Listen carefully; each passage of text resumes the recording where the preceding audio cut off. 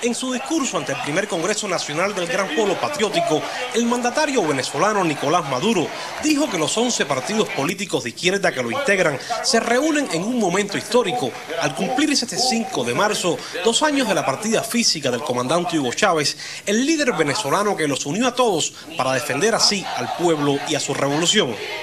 En dos años, el Gran Patriótico lo que ha dado muestras de lealtad suprema a la de Maduro dijo que la revolución bolivariana de Hugo Chávez surgió de aquellos tiempos difíciles en que encarcelaban y asesinaban a las fuerzas de izquierda y recordó que fue después del Caracazo de 1989 y de las rebeliones cívicos militares de 1992 que todo comenzó a cambiar en el país. Si hace 20 años 26 años los caminos estaban cerrados por la oligarquía y no había mecanismos para llevar adelante la opinión mayoritaria del pueblo.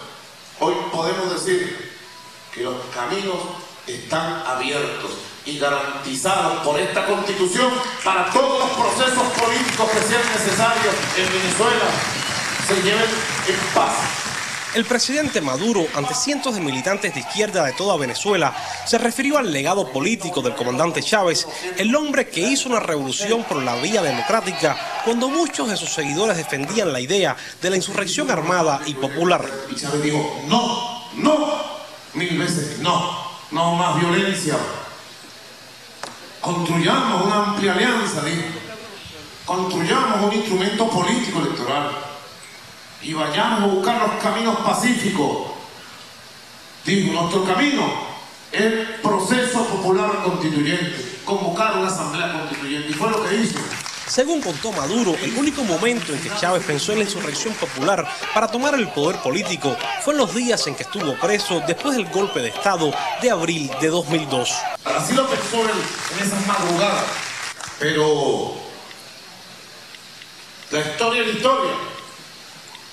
Y el pueblo se encargó de poner las cosas en su lugar. Y aquella inmensa insurrección de millones de hombres y de millones de mujeres, aquella inmensa insurrección cívico-militar del 13 y 14 de abril, puso sus cosas en el justo lugar y el pueblo rescató la constitución, rescató al comandante Chávez y rescató el camino pacífico de transformación y de cambio para Venezuela.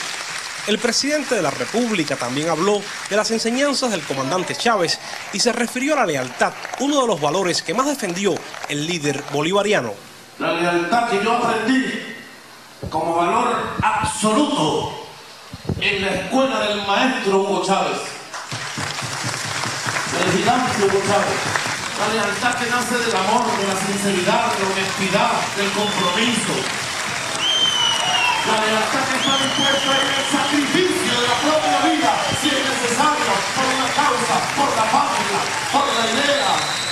Y el mejor homenaje a Chávez, a dos años de su partida física, es este Congreso del Gran Polo Patriótico, donde se unen en una sola voz y estrategia de lucha todas las fuerzas revolucionarias para seguir defendiendo a la revolución bolivariana. Desde Caracas reportamos Marisol Blanco, Miguel Román y Wilmer Rodríguez Fernández, Sistema Informativo de la Televisión Cubana.